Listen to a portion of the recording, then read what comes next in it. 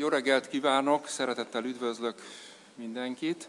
Köszönöm, hogy ilyen sokan elfogadták a meghívásunkat. Remélem, hogy egy tartalmas és izgalmas napnak nézünk elébe, és vágjunk is bele, mert nagyon fontos, hogy az idő kereteket tartsuk.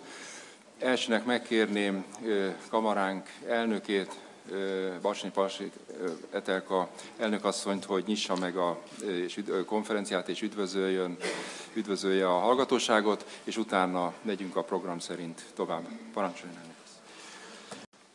Dear Minister Pakovac, ladies and gentlemen, let me very warm welcome you at our conference, uh, Energy Scenarios, Harmonization of Networks and Security of Supply in the Visegrad four countries.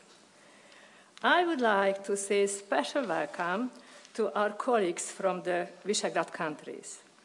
It's a great pleasure that the leaders of the engineering organization accepted our invitation. The topic of our conference is top actual. As we can see, the interest is great. I welcome also our Hungarian colleagues. Hölgyeim és Uraim, itt vagyunk Magyarországon, és ugyanez egy angol-magyar nyelvű konferencia, engedjék meg, hogy a továbbiakban magyarul folytassam. Tegnap tartottunk egy eh, sajtó háttérbeszélgetést, hogy fölvezessük a konferenciát. És ott az egyik eh, újságíró föltette a kérdést, hogy de hát miért eh, V4 keretekben energiapolitika, hiszen van európai energiapolitika. A kérdés jó. Nos, mi igyekeztünk azt a választ megadni, amivel most már fél éve készülünk erre a konferenciára. Valójában időben vissza kell egy kicsit menni, hogy hol is álltunk 20 évvel ezelőtt. A Visegrádi csoport országai a 90 táján a szovjet kötődésektől megszabadulva egyenként integrálódtunk az EU közösségbe. És ez alatt az elmúlt 20 év alatt igen nagy eredményeket értünk el. A saját műszaki teljesítményünk és együttműködésünknek néhány mérföldkövét hagy említsem meg ezen a megtett úton. Ilyen például a villamos hálózatok üzembiztonságának folyamatos fenntartása mellett tudtunk leválni a szovjet szinkronzónától. Kapcsolódtunk a nyugat-európai szinkronzónához. Kivédtük a két nagy európai hálózati üzemzavar, Olaszország és Németország hatásait. Megteremtettük a villamos energiapiacok összekötésének a feltételeit. A magyar gázrendszer, ha emlékeznek, kivédte az orosz-ukrán gázvita hatásait. És gáztárolók építésével lényegesen javítottunk a régió ellátottságán. Vagyis nem vagyunk többé sziget. Ugyanakkor a jövőbeni feladataink, a kihívások, azok nagyon jól artikulálhatók ebben a régióban.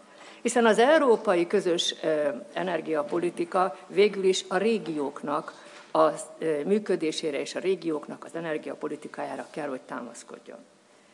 Gyakorlatilag nekünk fel kell oldanunk az elkövetkezendő időszakban a szűk keresztmetszeteket, és ezen az úton nekünk számtalan olyan feladatunk van, amelyet talán most nem sorolnék föl, hiszen a mai konferenciá éppen erről fog szólni. De azért egy dolgot hagyd tegyek hozzá. Valójában akkor, amikor mi V4-es keretben, mint egy megteremtve és hozzájárulva a Visegrádi csoport úgynevezett Visegrád brand kialakításához, akkor azt gondoljuk, hogy ezt a műszaki képzésben, a mérnöki kompetenciákban nagyon is jól tudjuk gyakorolni. Ezen túlmenően a kutató és mérnök képzés helyeit össze tudjuk hangolni. Ezen túlmenően vannak olyan speciálisan közös területek, ahol mi a magunk részéről teljesen egy irányban szeretnénk az energiapolitikát alakítani, ilyen például a nukleáris energia területe. De beszélni kell arról is, hogy a V4 országok területén felelhető természeti erőforrásokra jobban kell támaszkodnunk az európai energiapolitika alakításakor.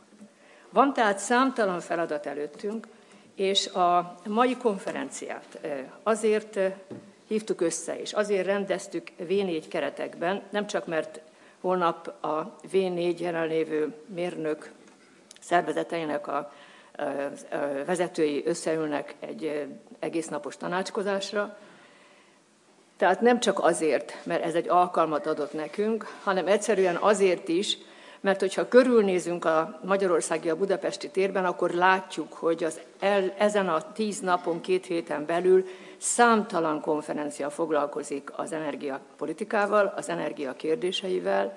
Mi ehhez, mint egy hozzájárulás, mint egy added value, vettük a bátorságot, hogy ezeket a kérdéseket V4 körökben elemezzük. Köszönöm azoknak, akik elfogadták a meghívásunkat, köszönöm az előadóknak, hogy gazdagítják előadásaikkal a konferenciát, és ezekkel a gondolatokkal a mai konferenciánkat megnyitom.